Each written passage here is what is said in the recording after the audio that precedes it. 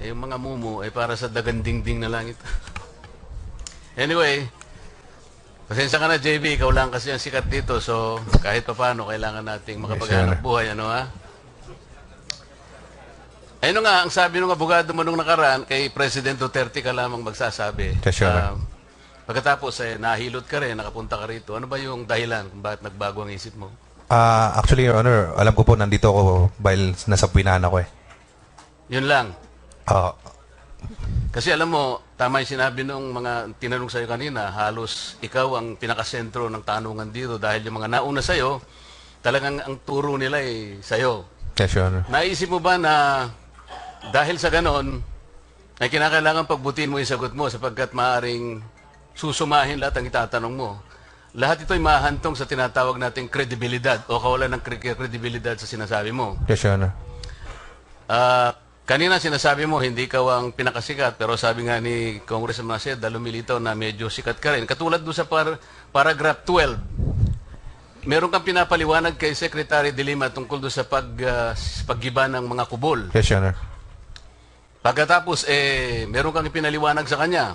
Yes, Your Honor. Pagkatapos mo may paliwanag sa kanya, tumakbo siya para pati ng gumigiba nito. Yes, Your Isipin mo yon na JB, mapatakbo mo ang Secretary of Justice Totoo para po sa yun, mismong umawat sa gumigiba. Ano yung pinaliwanag mo? Ah, tinanong ko po si Secretary de Lima kasi ang tanong niya po sa akin, ah, JB, bakit kailangan may kubol dyan?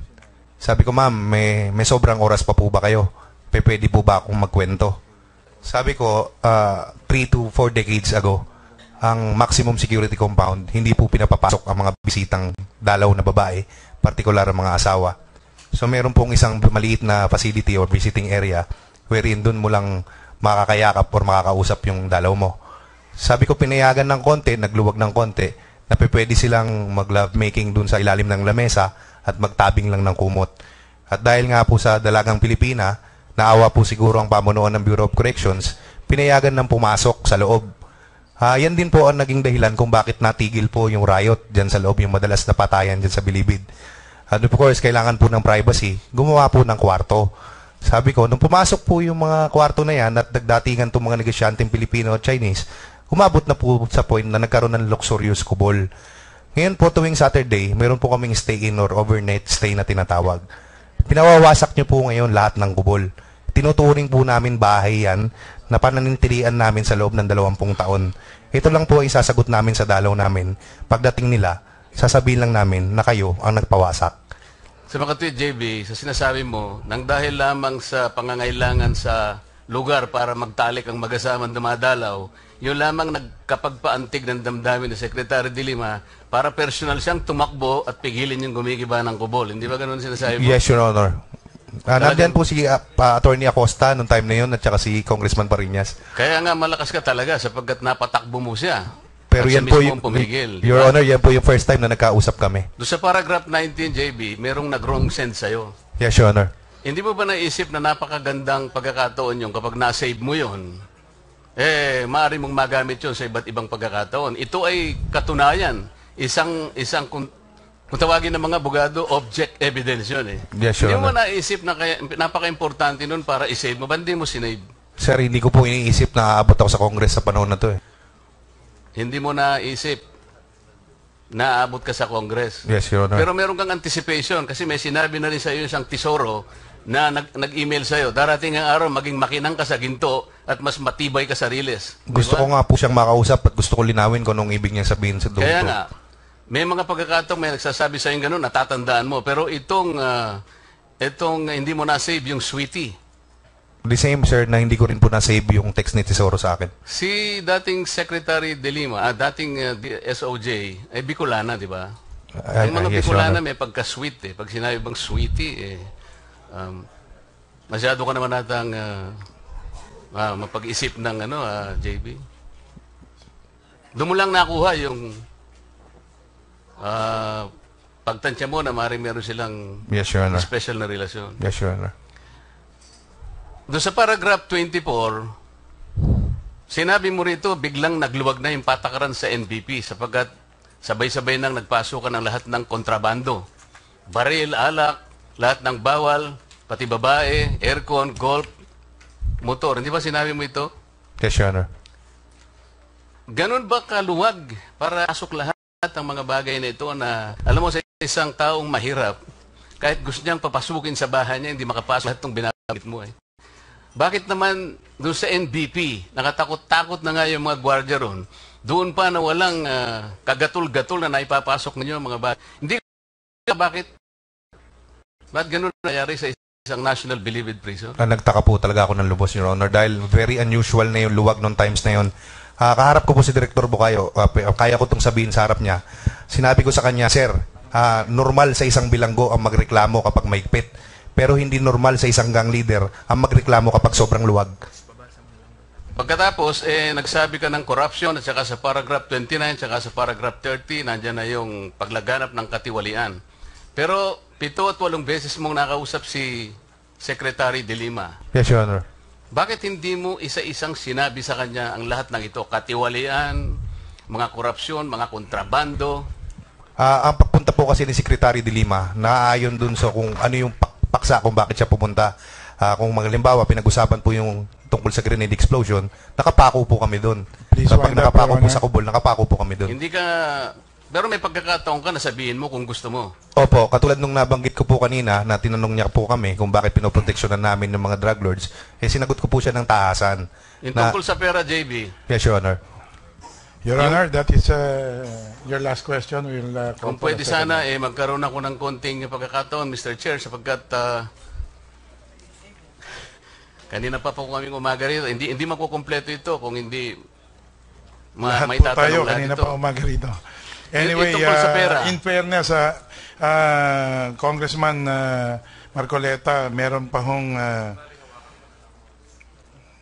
31 interpellators. O, sige, ah, itong, ah, itong mga itatanong ko ay i- i-reserve ko na lang, isang tanong na lamang. Kasi sa huling ah, Sige po. Sa huling ah, salita ni JB, nung nagtanong yung isa sa kasama ko rito, pwede nating i-check ito sa intelligence community. Sinabi mo yon JB. Yes, Your Honor. Tungkol sa mga ibang pinagsasabi mo, tungkol sa gwardiya, tungkol sa mga opisyal ng NBP. Yes, Your Honor. Para itest lang ang kredibilidad ng sinasabi mo. Yes, Your Honor. General ah, Magalong, pwede bang matanong kita sapagkat ikaw na, nandito ang member ng intelligence community. Dito sa, narinig po ninyo ang testimonya ni JB Sebastian ngayon at pati yung pagsagot niya kanina sa mga nauna pang nagtatanong sa akin, pati na rin ang mga tinanong ko. Dahil po kayo ang nagsimula ng oper- Operation Cronus. Meron ba siyang sinabi ngayon na magja-jive o maging consistent dun sa inyong mga intel build-up? Ibig sabihin, may kredibilidad pa, hindi man lahat. May, may katotohanan ba yung ibang mga sinabi dito sa kanyang ah, statement? Base na rin sa inyong nakalap ng mga intel ah, build-up, General Magalong? Mr. Chair, Your Honor, karamihan po naman nabanggit ni ni Mr. Sebastian corroborates some of many of our findings po at yung mga conclusion po namin. Ka- Kasama na rin po yung pagkakaalam ni Secretary De Lima sa mga talamak na gawain sa NBP.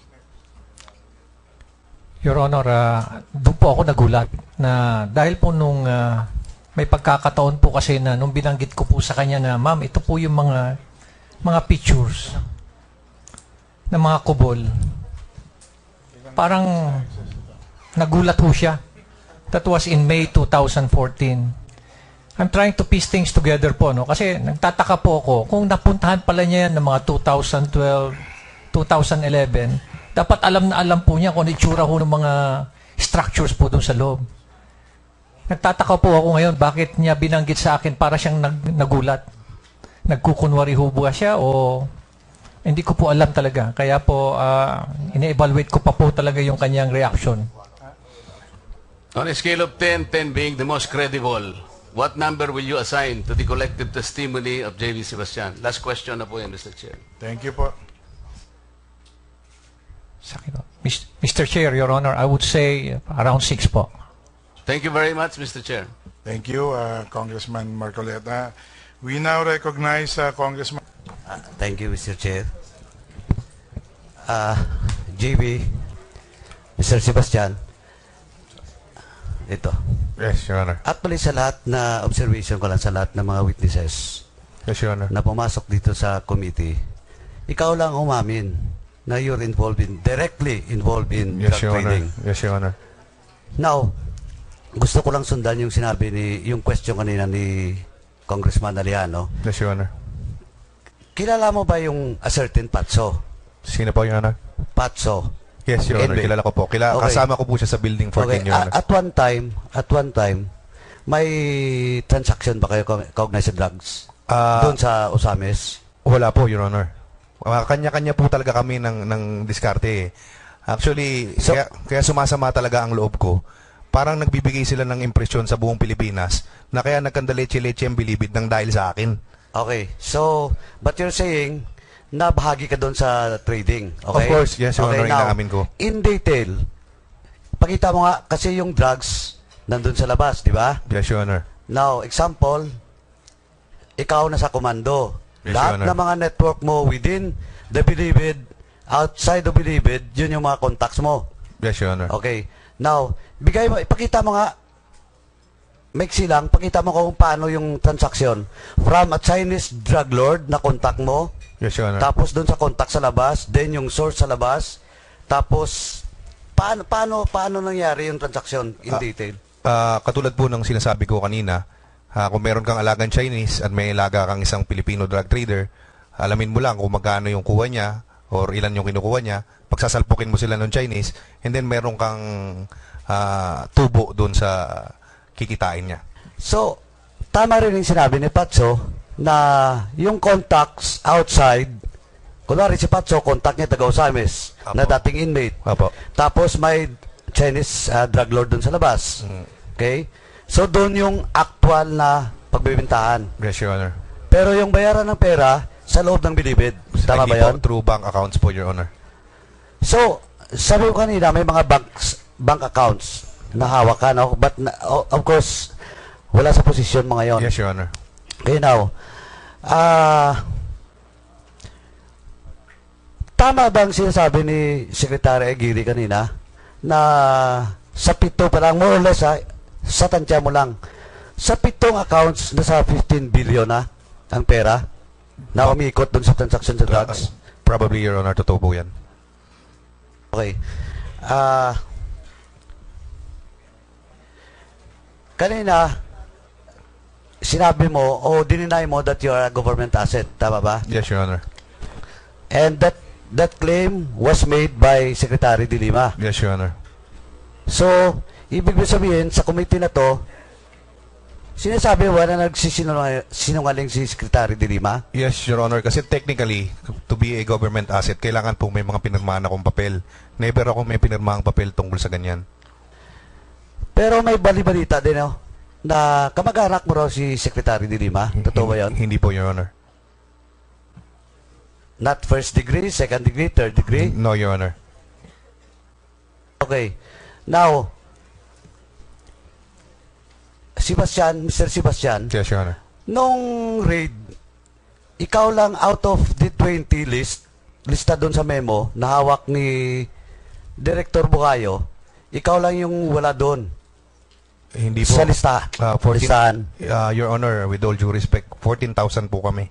So kung meron pong 19, may natitira pong 13,000 13,000 something na hindi kasama sa listahan. Hindi, ibig sabihin yung mga high-profile inmate. Marami pa pong naiwan, Your Honor. O, kung gano'n, sino-sino ang naiwan doon na, na involved sa drugs, ha? Na iniwan nila sino-sino? Ibibigay ko rin po yung listahan kay DOJ Secretary, Your Honor.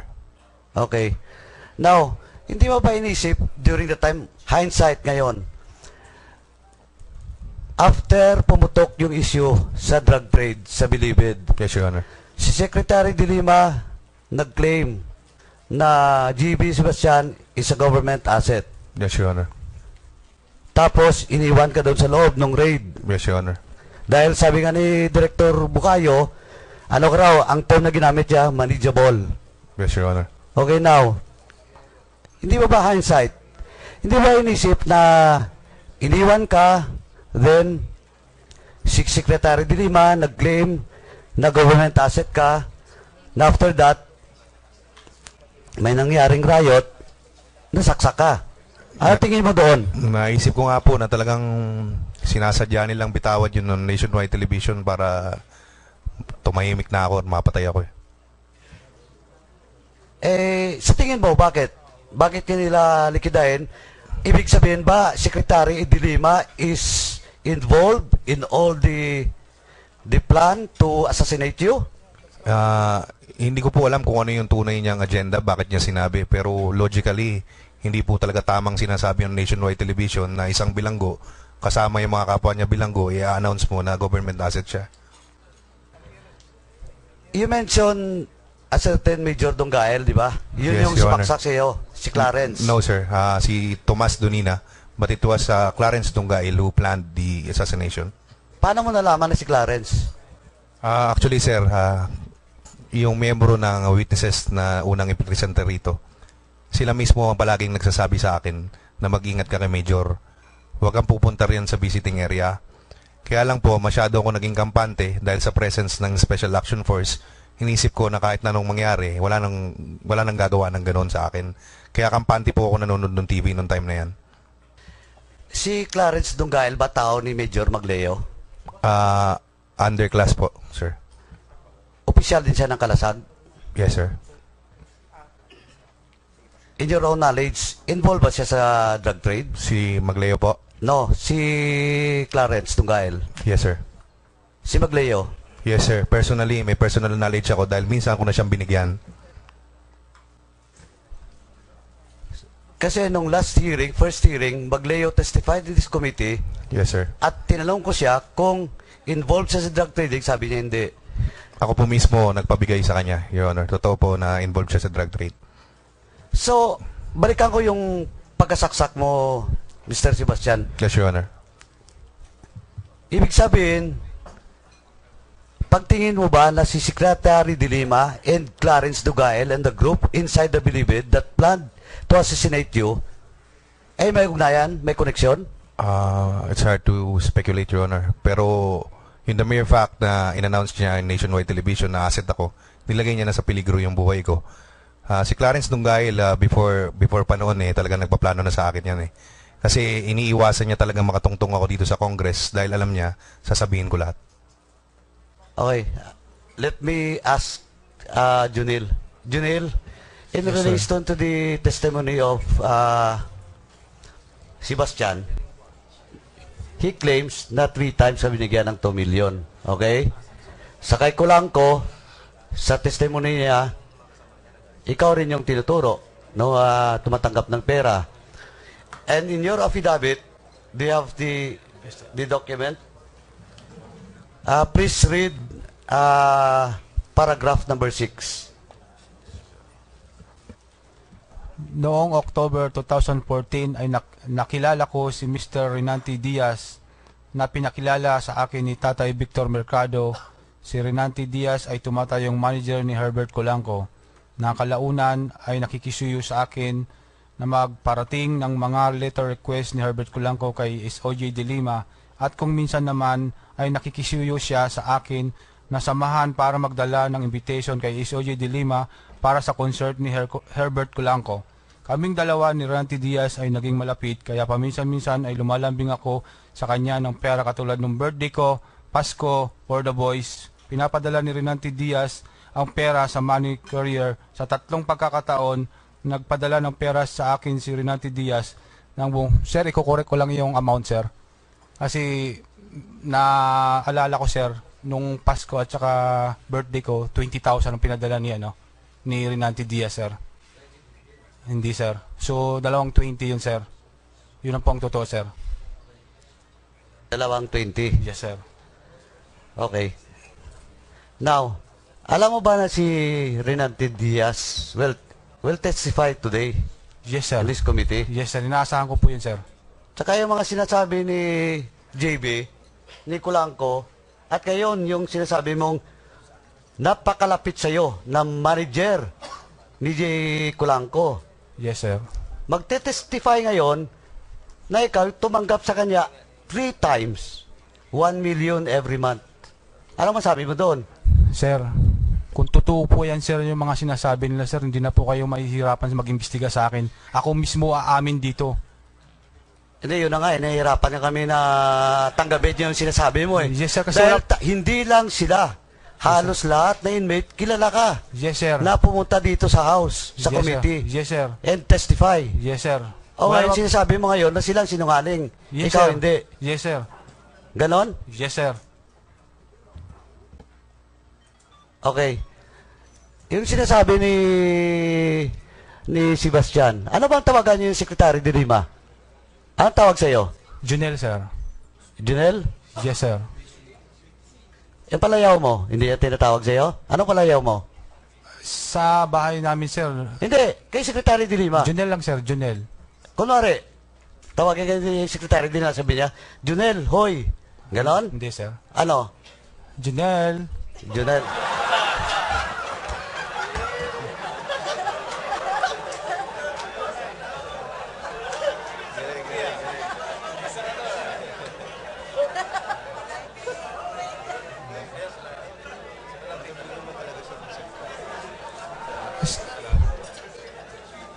Gano'n naman Anyway. talaga sa magsal, mag, ano, sir? Eh, silence, silence please. JB, JB, hindi pala sweetie. Junel. Sweet ang tono, hindi sweetie. Totoo yun, sir. anyway, Junel, Yes, sir. yan sabi ko last time, Yes, sir. and this this might be the last time that I will tell you, nandito ka na rin lang, Yes, sir. sabihin mo na ang lahat na alam mo. Just like sa kay Deputy Director Ragos. Well, in fact, the supplemental affidavit of Deputy Director Ragos, Yes, sir. para sa akin, hindi pa kompleto. Aabutan at abutan ka rin. Kasi, lahat ng mga witnesses, ikaw yung tinuturo, ikaw tumatanggap ng pera. Yes, sir. And until now, you're just saying, nakakala ko sabihin mo kanina, na instead of 100 of 15,000, gawin mo sana ng one- mga 1.5 million. Eh, 20,000 lang pala, 5,000 lang nadagdag. yes, sir. Yung pong totoo, sir, eh. Ano pong And sasabihin then, ko, kaya sir? nga, kaya nga, again, I'm telling Sir. you, you're under oath and you've still time na hindi aabot sa'yo yung problema ng kaso. Sir, Ah, Junel. sir, wala pa akong immunity, sir. Kaya, totoo lang po talagang sinasabi ko, sir. That's all, Mr. Chair. Thank you. Thank you. Uh, now we recognize uh, Congressman Sabellano.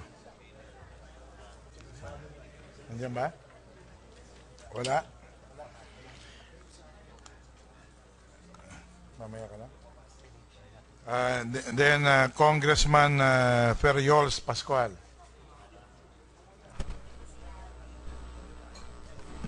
Thank you, Mr. Chair. My questions are directed to Mr. Sebastian. Mr. Your. Sebastian, ah, sabi niyo po, labing-anim na taon na kayo sa loob ng NBP. Hindi po. Labing-anim na taon na po ako nakakulong. Sa loob po ng labing-anim na taon, ilang beses na pong nagkaroon ng drug raid sa loob po ng Bilibid? Ah, major drug raid po. Ah, yun po ba ang tinatanong ninyo? Oo. Ah, during N- ah, yung NBI lang po, yung 19. 19. Yung, yung, yung 19 po na dinala sa NBI. Yun lang naaalala nyo? Yung kung Decem- major, kung major drug operation po ang tinatanong ninyo, yun lang po ang naalala ko. Pero meron po mga maliliit na operation na internal po, uh, Bucor na ang gumagawa. Mga ilang beses yun? Ah, too many Sa- to mention, hindi ko na maalala. Sabi niyo po kanina, nagkaroon ng ah, raid ng mga firearms sa loob ng Bilibid. At sabi niyo kanina sa inyong obserbasyon ay parang ah, moro-moro ito. Tama po ba yon? Ah, hindi po, yung mga contrabands po ang sinasabi kong parang moro-moro. Paano niyo nasasabing moro-moro o totoo ang isang ah, raid na nangyayari po sa loob ng Bilibid? Ah, kasi nga po, parang very unusual nung times ni ah, Superintendent Tesoro, napapasukin ng sabay-sabay lahat ng kontrabando. And then by December, magkakandak pala ng raid. So, sa mga drug raids po na nangyari sa loob, masasabi niyo po na ito po ay totoong drug raid na nangyari? O na hindi po ito moro-moro? Ah, actually, ah, Your Honor, wala naman pong ah, drug raid na specifically na hinahanap ay drugs. Ah, kadalasan po ito ay Greyhound or searching operation na hinahanap po lahat ng kontrabando kasama na po dyan ng drugs. Sa mga nasasamsam po ng mga drugs sa mga raid na ito, ah, gaano po naaapektuhan po ba ang supply ng droga sa loob ng Bilibid? Ah, tulad po nung nabanggit ko kanina, very minimal lang po yung pinapasok na drugs dyan sa loob, parang for uh, personal consumption. Pero yung bulk po talaga ng drug trade eh, sa labas po ng bilibid. After po ba ng mga ah, raid na ito, may nangyayari namang pagbabago sa loob ng ah, ng maximum po compound? Ah, parang continuous cycle na lang po yan, Your Honor. Sa mga mga pangyayaring raid po na ito, may meron po ba kayong ah, mga tips na nakukuha or information na may darating po na paparating na mga raid? Minsan meron po, Your Honor. So, um, sa mga information po na ito, sino po ang mga nag-i-inform sa inyo? Mer- maaari niyo po bang sabihin sa komite na ito? Ah, on nationwide television po, mahirap. Pero I'm willing again to give the list to the Department of Justice Secretary. Opo, may I ask the committee po to take note of the commitment of the witness to furnish the DOJ the uh, list of the persons involved in this uh, uh, leakage of the information of uh, raids. Uh, sa nangyari pong uh, December 2014 raid, na kayo po ay naiwan at yung Bilibid 19 ay uh, na-transfer po sa NBI facility. Yes, Your Honor. Masasabi niyo po ba itong totoong raid? Ah, yes, Your Honor. Ba, paano niyo po nasabi? As I said a while ago, ah, wala pong ah, commander or leader ng gang na nasama po dyan sa raid na yan. Gaano pong kalaki ang extent kapag nagkakaroon ng raid sa ah, maximum compound? Ito po ba ay nangyayari sa ah, ilang par- portion lamang o buong ah, buildings po ay nagkakaroon ng raid? Ah, depende po sa extent ng operation. Kapag ka internal lang, ah, minsan nasa inclusive lang po rin sa dormitory nila. Pero yung nangyari pong raid noong December, ah, nung tin- tinaguri ang Bilibid 19, ah, composite po yan na lahat po ng operatiba nagsama-sama po dyan. So, ibig sabihin niyo po, sa mga nangyayari na internal raid na ginagawa ng Bucor, ah, may mga pagkakataon na kayo po ay nakakatanggap ng tips, may pagkakataon na hindi. Tama po ba? Ah, yes, Your Honor. So, ibig sabihin po, ah, sa dinami-dami po ng mga raid na nangyari na nakakuha po ng mga kontrabando sa mga inmates, hindi po epektibo ang mga nangyayaring ah, pagsamsam ng mga gamit kasi ah, apparently hindi po nauubos ang supply ng mga kontrabando, hindi po natitigil ang pagpasok ng mga ah, contraband sa loob. Tama po ba? Ah, exactly, Your Honor. You cannot consider that as ah, accomplishment kasi sila rin naman na nagpasok eh. Pa, ah, may katanungan po ako ah, tungkol sa mga pangyayari after po ng assumption ng bagong ah, administration po ng ah, New Bilibid Prison. Sa na mga nakaraang hearing po nagkaroon ng reports na ah, meron na po tayong F- ah, na na-minimize na po ang ah, drug trade sa loob. Tama po ba ito? Yes, Your Honor. So, yung mga nangyari pong mga drug raids, mga contraband raids, ah, effective na po ba? Yes, Your Honor. Masasabi po natin. Yes, Your Honor. Wala na pong moro-moro, wala nang informants. Wala na po. Please wind up, Your Honor. Ah, that's it, ah, Your Honor. Thank, you, Your Honor. Uh, Thank you, Mr. Chair. I would like to ask on the issue of fundraising for the Secretary, for uh, then Secretary Dilema, Yes, Your Honor. Uh, in her bid for the 2016 um, election. Yes, Your I'd like to address my question to uh, JB, Sebastian. Yes, Your Honor. Um, you said that you spoke to Secretary De Lima eight or more times. Yes, Your Honor. Okay. Now, in those occasions, was there ever a time that she personally asked you, huh, asked you for help to raise funds for her? Wala po, Your Honor. She did not. Yes, Your Honor. Okay. So it was Junel uh, Sanchez Yes, Your Honor. who told you so. Yes, Your Honor. Okay, so that's clear.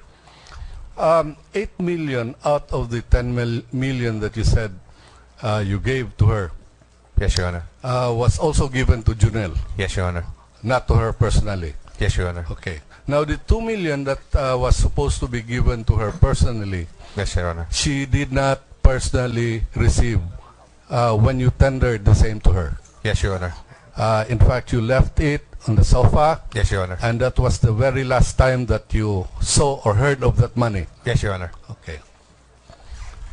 Um, in this eight or more um, times that you spoke to her, all of this were covered by uh, media? Ah, hindi po, Your Honor. No. Yes, Your Honor. So uh, let me just bring you to the to paragraph 15 of your affidavit.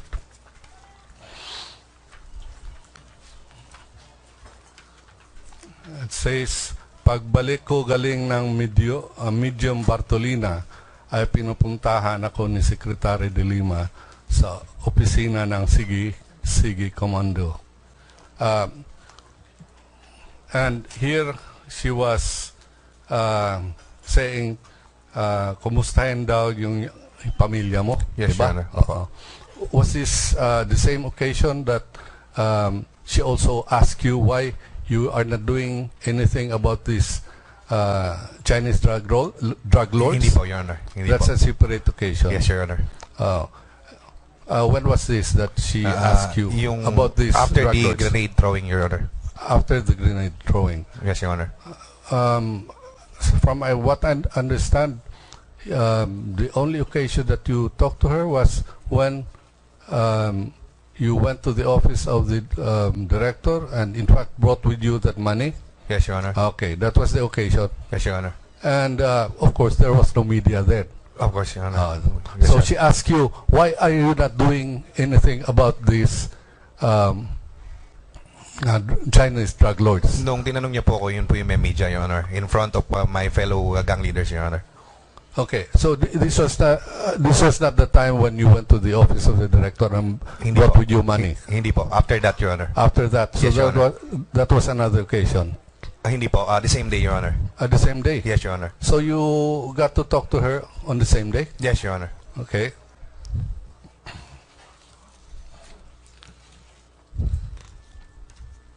Now, one last question. Yes, Your Honor. Are you willing to undergo a lie detector Yes, Your? Honor. Yes, Your Honor. Ah, that's yes, good. Your Honor. Okay. That's all. Uh, thank you, uh, Congressman Rocamora. We now recognize Congressman Pacquiao. Thank you, Mr. Chairman. Um, thank you for uh, giving us time to ask our uh, witnesses. I would like to ask Mr. JB Sebastian. Yes, Your Honor. Ah, ano po ba ang ah, dahilan? Bakit po kayo andito? Bakit po kayo umattend ng hearing na ito? Ah, ah, nasupinahan po ako, Your Honor. I'm under subpoena, Your Honor. Kung ibig sabihin kung hindi po kayo sinabpina, um, hindi po kayo magsasalita. Maybe, Your Honor. It's too much for my family na eh. Ang dami ko nang naging problema eh. Ah, ibig sabihin na dito sa affidavit ninyo nakikita po natin na doon sa huling ah, salaysay parang nagpakita kayo ng interest dahil gusto nyong tulungan yung administrasyon ni Duterte Yes, Your ating Honor. Pangulong ah, Duterte Yes, Your Honor. dahil gusto nyong ah, mahinto itong ah, drug problem sa ating bansa. Yes, Your Honor. That was before, bago ako masaksak, Your Honor. Okay.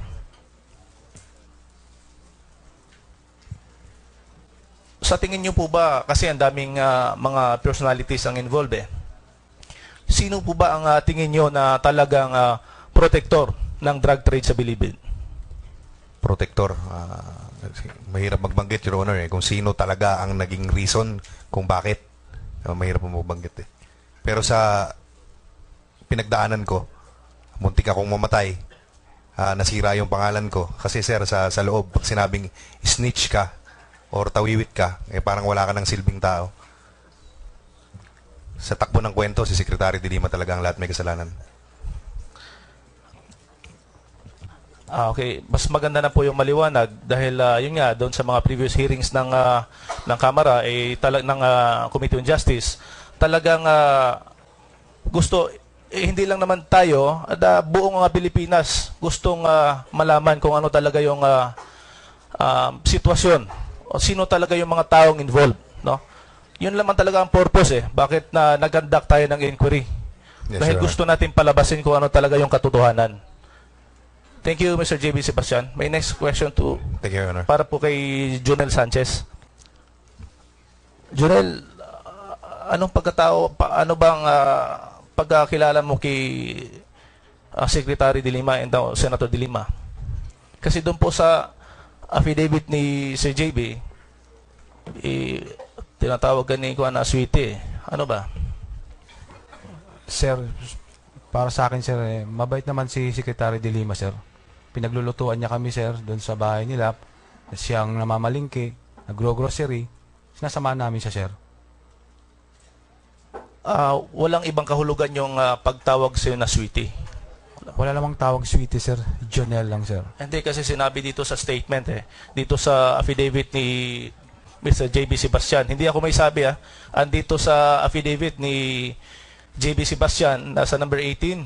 Ang sinabi niya, nakita niya mismo. Nag-holding hands kayo. Tinawag ka na sweetie. Kaya gusto ko lang i-establish kung anong pagkatao ni Sekretaryo na Senator De Lima. Kung talaga bang malambing lang siya, talaga bang may may tao naman ganun eh. Diba? Sir, as a security sir, siyempre sir, kailangan namin pangalagaan ang kanyang security sir. Katulad ng sinabanggit niya sir, medyo nadula si secretary. Siyempre alalayan namin yun sir. So na na-misinterpret niya lang ni JB yun sir, na nahawakan ko yung kamay ni secretary. Kasi dito rin sa, sa affidavit ni JB, uh, for how many times kayo nakita ni JB na magkasama? Uh, in fact, dito pa nga sa, sa affidavit niya, uh, yung uh, pag-abot ng pera, binigay. Yung sa Ano? pera sir, eh, wala pong katotohanan yun sir. Pero yung pagpunta doon sir sa Bilibid, talagang kasama kami sir, dahil security kami sir eh. Hindi lang naman ako sir, mar- marami kami. Hindi kasi andito sa affidavit eh. Tala, ikaw ko na-contact ni JB, uh, dahil doon sa, kuan, uh, ikaw yung malapit doon kay, kay uh, Senator De Lima. Dahil sir sa security nga ako sir, at saka security aid sir. Okay. Uh, Janelle. Thank you, thank you, Mr. Chairman. Thank you, uh, Congressman Pacquiao. We now uh, recognize Congressman Batucabe. Thank you, Mr. Chair. Ah, magandang hapon sa ating mga panawin. Magandang hapon sa iyo, JB. Ang una kong tanong ay ganito.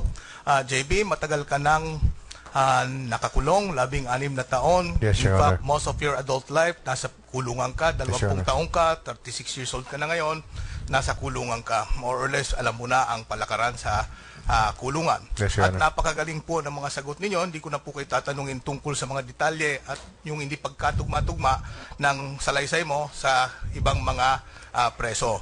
Ngayon, ang tanong ko, ikaw ba ay ah, ah, nag-agree na talamak na talaga ang dro- droga sa ating mga pihitan at ito po ay nakaugat, nakatanim ng malalim sa ating sistema ng kulungan Yes, Your Honor. Yan po ay hindi lang po nangyayari sa Bilibid, kundi pati sa Manila City Jail, gaya ng nasabi mo kanina. At lahat po ng ibang jails, Your Honor. Lahat ng jails may kontrabadong pumapasok. Yes, Your Honor. Ngayon, matatandaan mo ba, JB, na kung ilang beses itong Committee on Justice na bisita sa kulungan ng Bilibid? Uh, twice or thrice with Okay. uh, Pinapakita ho sa amin yung mga kontrabandong na naagaw po sa inyo. Tama po ba? Yes, Your Honor. At pinapakita sa amin na babaguhin na kaalisin ang kubol. Yes, Your Honor. Ngayon, pagkaalis po namin, anong nangyari sa loob sa kulungan? Ganun pa rin po, Your Honor. Okay. Ngayon po, ah, nag-iimbestiga naman po tayo ngayon. Ah, masasabi po ba ninyo, 100% na pagkatapos po ng investigasyon na to, ay mawawala na ang kontrabando sa loob ng pihitan?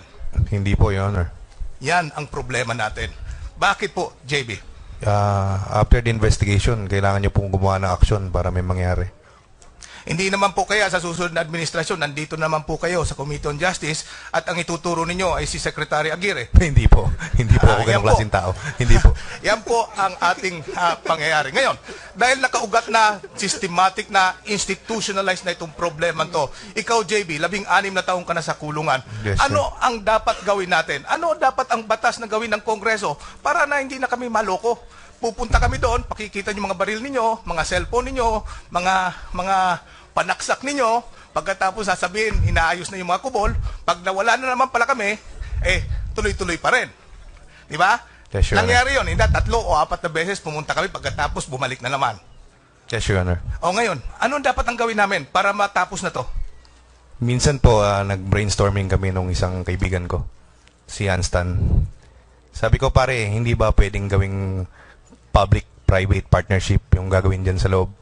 Kasi ang number one hong ah, source ng corruption dyan ay yung pagpasok ng cellphone. Once na ipasok na yung cellphone, dire-diretso makakapasok yung iba.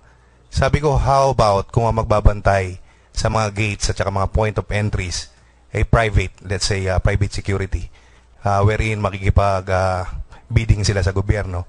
So hindi na ho kinakailangan magpasintabi ng CIDG or ng PNP sa biglaang pagpasok.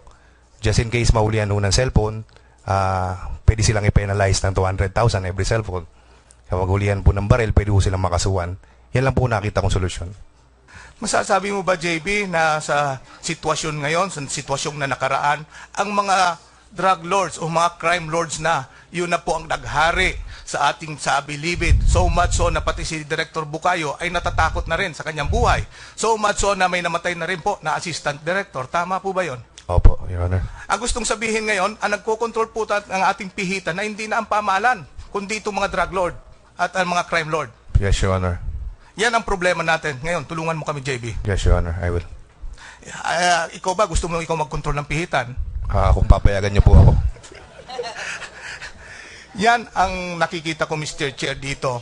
After everything, mag-hearing po tayo. Pagkatapos ng hearing natin, makakalimutan natin ang ating pihitan, babalik at babalik naman. Dahil nakaugat na, nakatanim na, at institutionalized na lang. Siguro, in exasperation, pwede natin sabihin, mas mabuti pa, sunugin natin yan para matapos na. Sig- dapat, Mr. Chair, I think we have to come up with long-term, sustainable solution that will destroy this entrenched culture of corruption uh, which uh, given the crime lords the control of our penal system. Thank you, Mr. Chair.